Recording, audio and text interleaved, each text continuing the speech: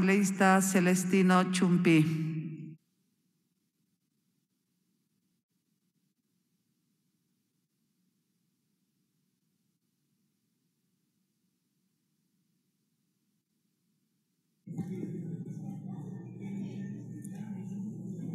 Muy buenas tardes, colegas legisladores.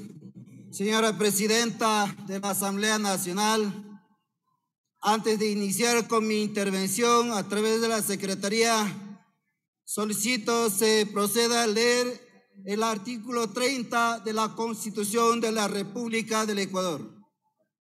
Señor secretario, proceda. Con su autorización, señora presidenta, artículo 30. Las personas tienen derecho a un hábitat seguro y saludable y a una vivienda adecuada y digna con independencia de su situación social y económica. Hasta ahí el texto del artículo, señora presidenta. Muchas gracias, señor secretario, colegas legisladores. En este periodo legislativo nosotros los legisladores estamos comprometidos con el pueblo ecuatoriano para expedir, codificar, reformar leyes a favor del pueblo ecuatoriano. En ese sentido, esta ley orgánica de vivienda de interés social está apegado a los preceptos constitucionales y para aquellos nosotros en la Comisión de los Gobiernos Autónomos, integrado por los asambleístas de distintas bancadas, nos habíamos comprometido en trabajar y luego de un arduo trabajo de manera responsable, hemos realizado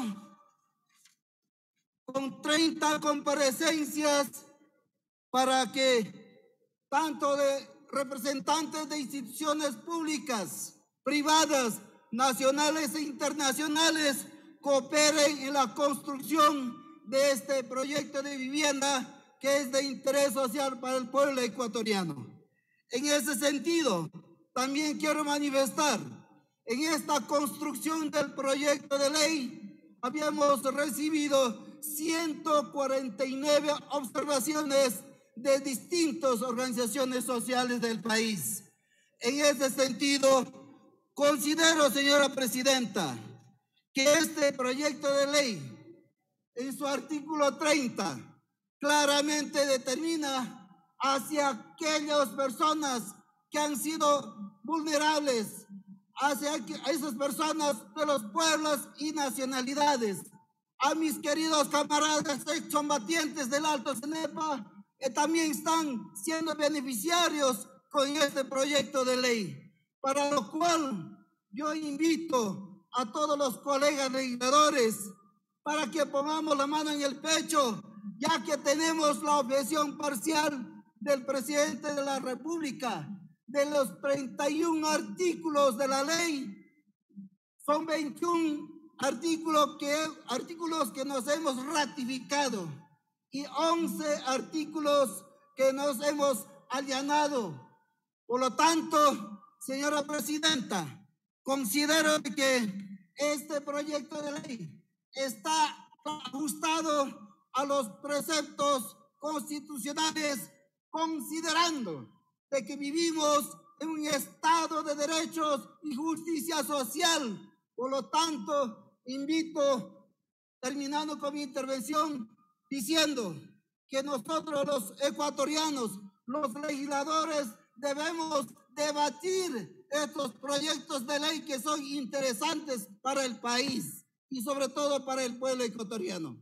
En ese sentido, quiero finalizar diciéndoles a todos, compañeros y colegas legisladores, trabajemos, aprobemos esta ley que va a ser algo histórico, porque también las personas con capacidades especiales también serán los que se beneficiarán de este proyecto de ley que ha sido para mí histórico. Vamos a, marcar una historia en el Ecuador.